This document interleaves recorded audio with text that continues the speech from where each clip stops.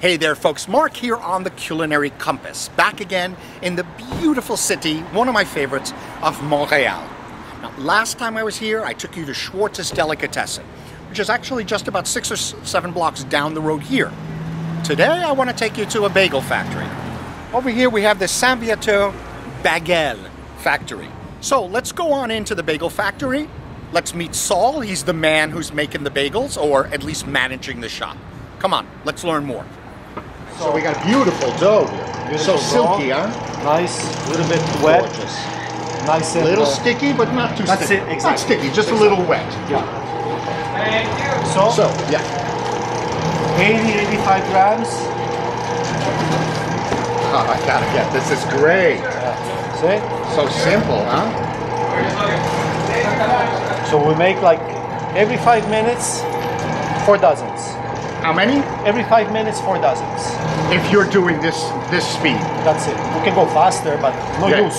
Can't rush quality, my friend. Yeah? No. You can't rush quality. Ah, I guess that's true. 80, 85 gram. That's There, our- you're our- shooting for 80, 85 Yeah, grams. let me All right, see. So let's see what we got. 87. Not bad. Not bad. That's good.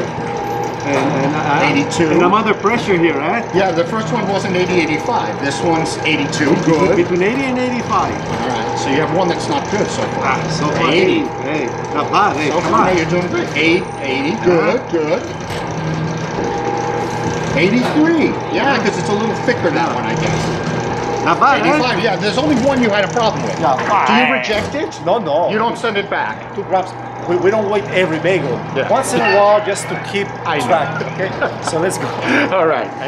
Everything by hand. No paddle, nothing. Just Okay. boom. One shot. Uh, be careful, don't worry. All right, so we're going in here for a quick boil. How long are you keeping it in? Five minutes in the boil. There's a little bit of honey inside. Honey. What's the honey for? Oh man. Is it for the flavor or for something related to the water? Yeah, yeah, yeah, yeah, yeah, yeah. That's part of the uh, the secret. You know, So you just Not told secret me. anymore. But A technique. The, the honey, yeah, the honey apparently it, it helps the, the, the, the bagel, the seed to stick on the bagel. Okay. You see, so they come out Yeah. a little bit wet, so Yeah, the but firm are- already. They're firmed up. They're firm. That's it. Which is five minutes. Little Exactly. firm. What do we have in here? What do we do? Sesame, seeds, all Beautiful. around. Why don't places do both sides? Is, are they lazy or Sesame cheap? seed, sesame seed is the most expensive ingredient in a bagel. You kidding? Sesame seeds are very expensive. Oh, look at this board. He has two boards he's putting in now. That's it. And now So these boards see- are very traditional. This method.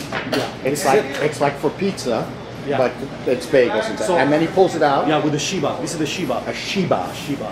Yeah. Shiba, I believe, is a Jewish word for for a piece of wood or something like that. Okay. okay. So that's and then into the old slider, and it comes down, and that's it. Oh, you don't really even. Yeah, this is great. It's so basic. look, look, look, look right now. That's great. That's great. Yeah, it's so simple. We sell over a thousand dozen a day. A thousand dozen a Yeah, day. and uh, I say 75% sesame. Seventy-five percent. And Then you have 25% that makes up the other kinds. Ciao for now.